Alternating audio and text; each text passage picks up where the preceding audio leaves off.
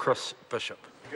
Thank you very much, Mr Speaker. Um, it's a pleasure to take a call on the sale and supply of alcohol extended licensing hours during the Rugby World Cup bill.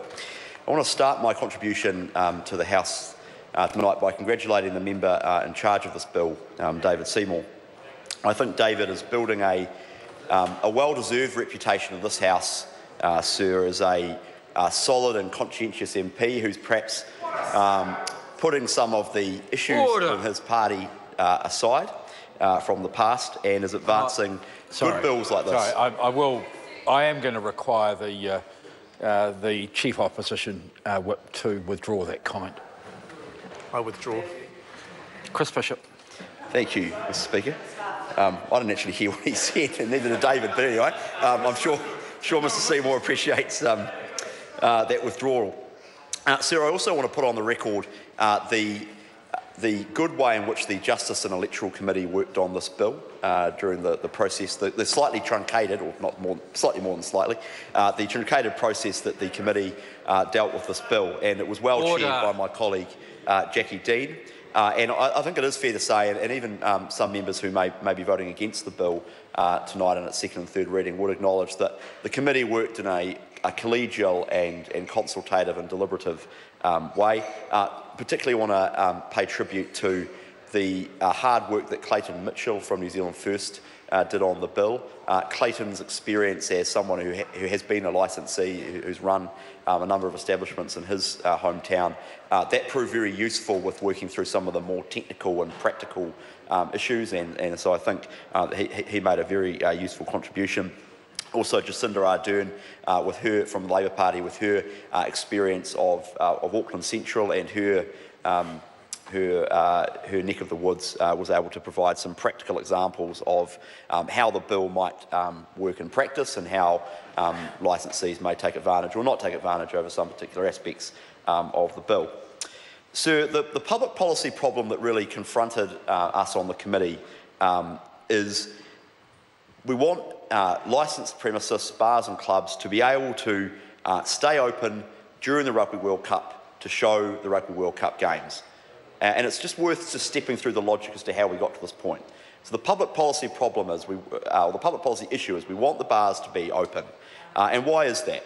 Because uh, people enjoy watching rugby, particularly Rugby World Cup games, with other people, with like-minded uh, friends and family, with other rugby fans. There's a, as I said during the bill's first reading, there is some sort of element of collective endeavour about willing the uh, the All Blacks on or, or, willing the South Africans on if, uh, if you're a, the Springboks on if you're a South African. Um, you know, slightly irrational. Uh, you, get together with people uh, who are all All Blacks fans, or if you're a, or a Springbok fan, you get together, get together with other Springbok fans, and you and you know, it's slightly irrational that you sort of there is the sense that if you all get together and, and wish that they win as much as you can, um, then that it will happen. Um, and you know, whether or not that's true or not, it's certainly not true. Um, there is something you know noble about doing that almost, I would say, sir. Uh, as, as, Mr. Sewell points out, there's no proof it doesn't work, but that's, that's true. But so, so we want that to be able to happen, and you know, a lot of people do. A lot of people don't have Sky TV. A lot of people, even if they do have Sky TV, you know, may want to go go um, down to the, a, a bar uh, and watch it.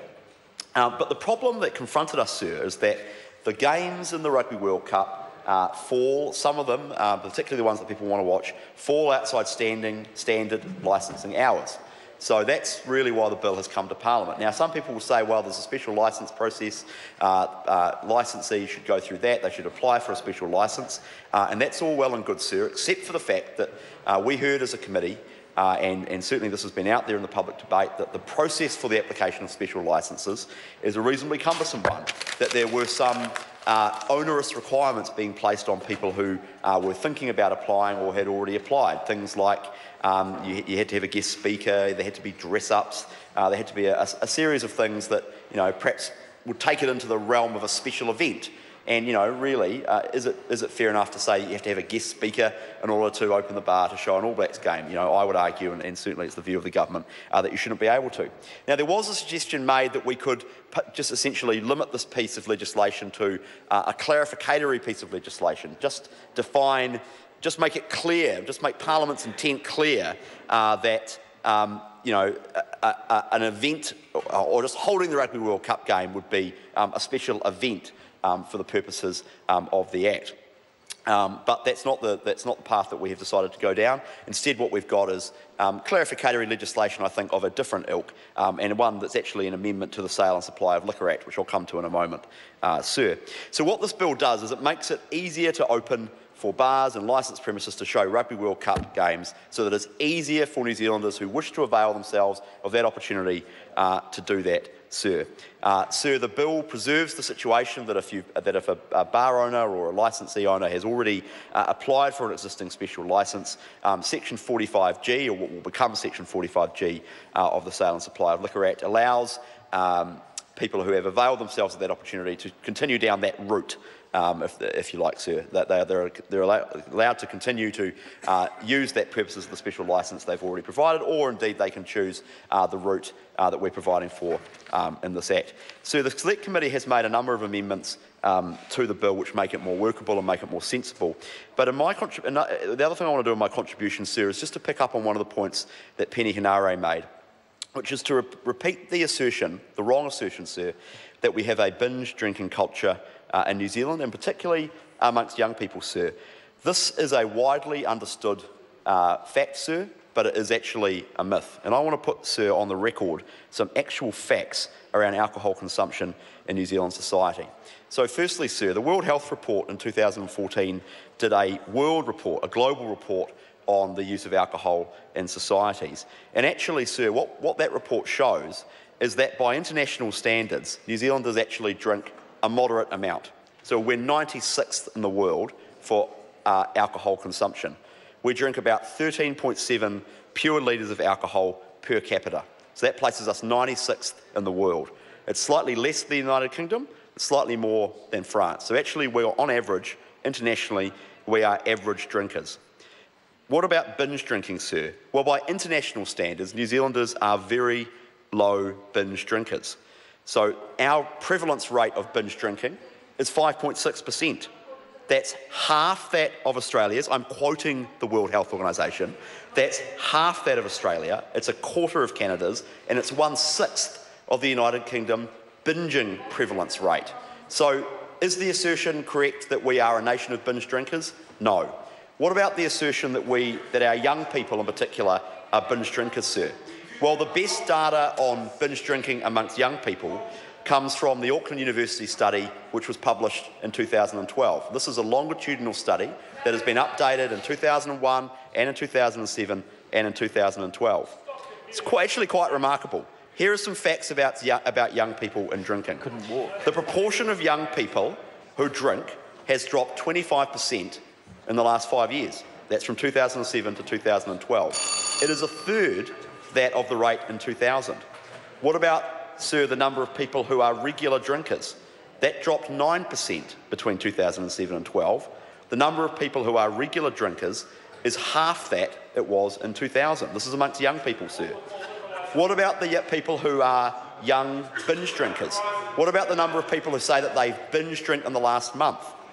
The, between 2007 and 12, the number of young people in New Zealand who say that they binge drink in the last month has dropped by 18%. And again, the rate is half that since 1990. So people often say liberalisation of our liquor laws was a disaster, that the 1989 reforms were a disaster. It led to this binge drinking culture. That's not true. They say that it led to young people getting drunk more and more. Again, sir, the facts actually belie that. The number of young people drinking is declining. The number of young people binging is declining. The number of young people who drink regularly is declining. And actually, the alcohol related harm that comes from young people drinking is going down as well. These are the facts. They come from the World Health Organization and the, the best data we have from Auckland University. The alcohol liberalisation in New Zealand, sir, has worked. And I just closed my speech and my contribution to this debate with those remarks because too often, sir, in this society, young people are defamed by people who seek to ascribe uh, characteristics and behaviour to them that is simply not borne out by the facts. It is simply not borne out by the reality. Young people are drinking less, they are binge drinking less, and harm from young people drinking is going down. With that, sir, I commend this bill to the House.